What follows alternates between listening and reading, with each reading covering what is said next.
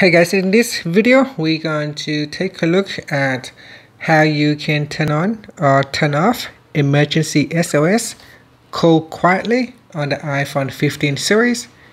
First let's go back to the home screen by swiping up at the bottom of the screen. And from the home screen, tap on settings.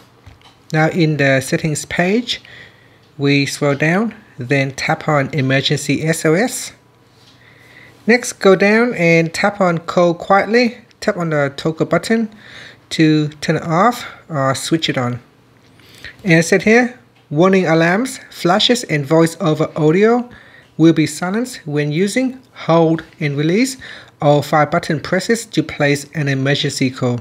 So here if I press on the five uh, press on the side button five times rapidly, it will start the emergency call, but this time it will not make any sound. And that's it. After you can tap on the stop button to stop the emergency call. Thank you for watching this video. Please like and subscribe to my channel for more videos.